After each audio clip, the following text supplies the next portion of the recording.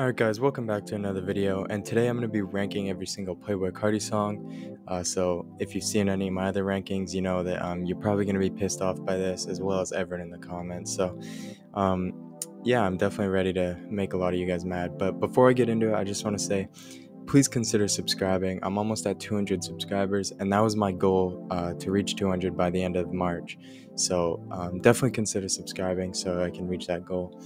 But anyway, we have 66 songs here. I'm not doing any leaks, although I have included all of his new singles that he's released on like Instagram and YouTube and whatnot. Um, but anyway, getting into it at number 66, I've Jump Out the House. I mean, just repetitive, absolutely not a fan of this song. Uh, 65, number 9. 64, Had to. 63, Middle of the Summer. This one, like, some, like, the one part is good from Carti at the start, but like I don't know, the feature is like pretty terrible to be honest.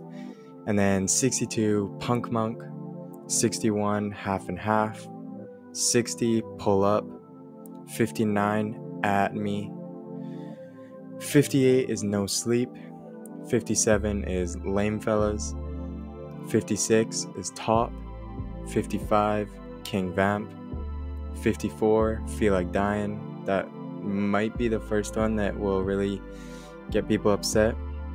53 go to the moon.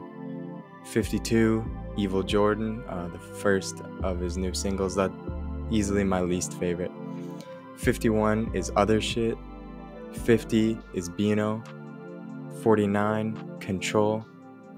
48 is home 47 is uh, the other one, uh, me or Matt. I'm not sure what um, what it is, but whatever. 46 is Teen X. 45 is Backrooms with Travis Scott. This is kind of underwhelming considering it was a Carti Travis Scott collab. I uh, thought it'd be a lot better, and it wasn't bad, but nothing crazy. 44 Polka Dot. I mean, Nicki's verse starts off really bad, it's kind of hard to listen to. At 43, we have Metamorphosis. 42 is Let It Go. 41, New Neon. 40 is Old Money. 39, Slayer. This is one of the ones I liked at first off Whole Lotta Red. Whole Lotta Red. Um, because, I don't know, it's kind of more of the Die Lit vibe, which Die Lit is definitely my favorite Playboi Carti album, but yeah, it's kind of slid in the rankings a bit. At 38, I have Yamin. 37 is Broke Boy. 36, Not Playing. 35, Die for Guy. 34, Over. 33, Right Now. 32, Place. 31, No Time. And then back to back here we have 30 is Ketamine and 29 Hood by Air. So two more of his new singles, Ketamine, the most recent one and yeah, again, they're pretty good. Um, obviously higher up in the rankings than the last one, so I like these ones more. But I don't know. I'm I feel like I like Carti's high pitched voice more than his deep voice, but I guess we'll see how this new album goes. Uh, 28, we have Flex. 27, Love Hurts. That's another Travis uh, collab, of course. 26, Looking. 25, Choppa Won't Miss. 24 new tank. 23 different day. 22 mileage. 21 kelly k. So getting into the top 20 playboi carti songs. At number 20 we have rockstar made. 19 is flatbed freestyle. 18 on that time. 17 ripped Fredo. 16 vamp anthem 15 new choppa 14 this one might um, get people upset but i do that shit. I'm not sure if this is a popular one within the playboi carti community but i don't know. I've always liked this song so it's quite high up in my rankings. And at 13 i have foreign. 12 i love you i hate you. And 11 is rip so that one also might get people pretty upset here. But number or the top 10 uh, at number 10 we have fell in love with uh, Bryson Tiller.